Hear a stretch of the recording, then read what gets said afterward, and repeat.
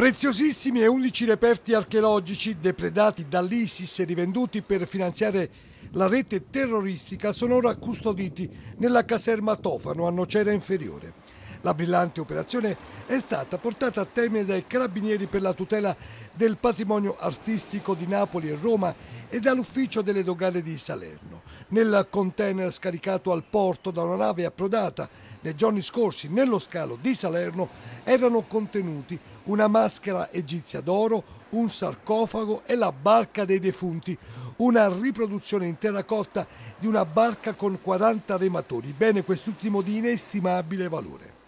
Sono ora in corso accertamenti per risalire alla provenienza di questi pezzi che rappresentano solo una minima parte di quanto trasportato nel contenitore, anch'essi di ingente valore. Il tesoro, come detto, proveniva dall'Egitto, in particolare dal porto di Alessandria, ed era contenuto all'interno di un container che viaggiava su un carico diplomatico, circostanza questa ora oggetto di un'approfondita indagine da parte della Procura di Salerno.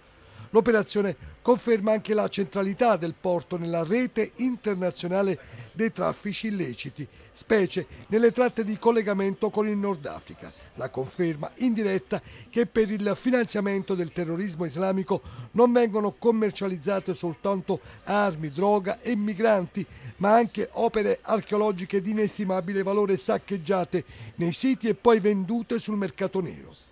Sotto questo aspetto la caserma Tofano di Nocera, ora centro polifunzionale di eccellenza dopo la firma con il Ministero dei Beni e delle Attività Culturali e del Turismo, ospita i reperti che saranno poi trasferiti in un secondo momento nei paesi d'origine dove sono stati trafugati.